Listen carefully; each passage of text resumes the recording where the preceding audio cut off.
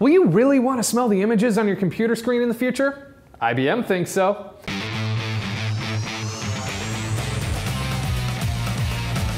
This week, IBM predicted that over the next five years, computers will begin incorporating more of the five senses, including the two I'm most afraid of taste and smell.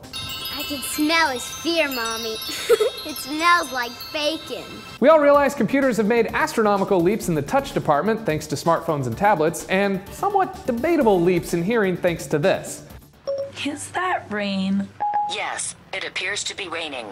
Oh. Of course, your own sense of sight and sound could have told you that without Siri's help since you're, I don't know, standing next to a fing window. And that's beside the point. Point being, IBM is predicting in five years computers will be able to perform basic sensory tasks. And if IBM says it's going to happen, you better believe them.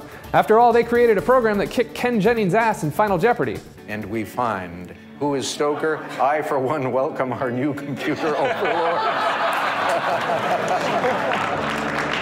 Now we come to Watson, who is Bram Stoker. But what kind of tasks are we talking about here? Well, for starters, they predict screens on smartphones could begin to imitate textures using vibrations and other tech, which, believe it or not, some companies are already developing.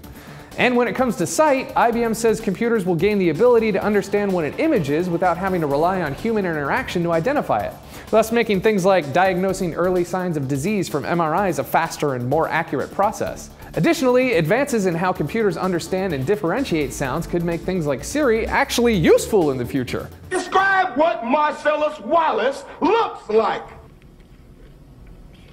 What? Say what again? But here's where it gets crazy.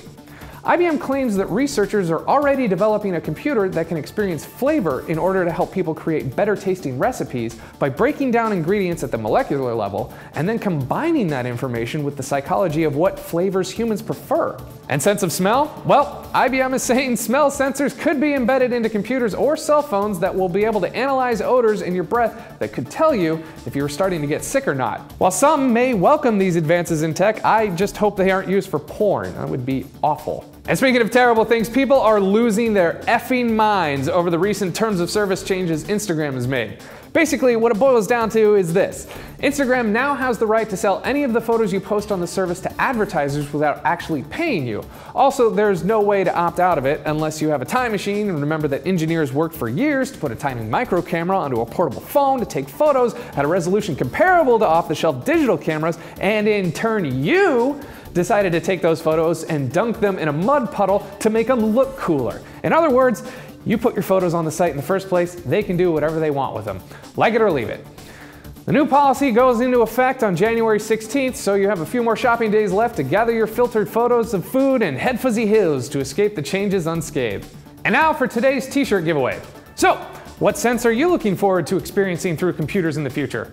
Let us know in the comments and you can win a TechFeed t-shirt, just like YouTuber In Training who said in response to yesterday's question, do you think it's okay to post personal information, yes or no, or only for the biggest jerks? They said, while it isn't really right to post the personal information of the church publicly on the internet, I and many others will definitely not be the one to stand up for the Westboro Baptist Church and say, hey, that's wrong.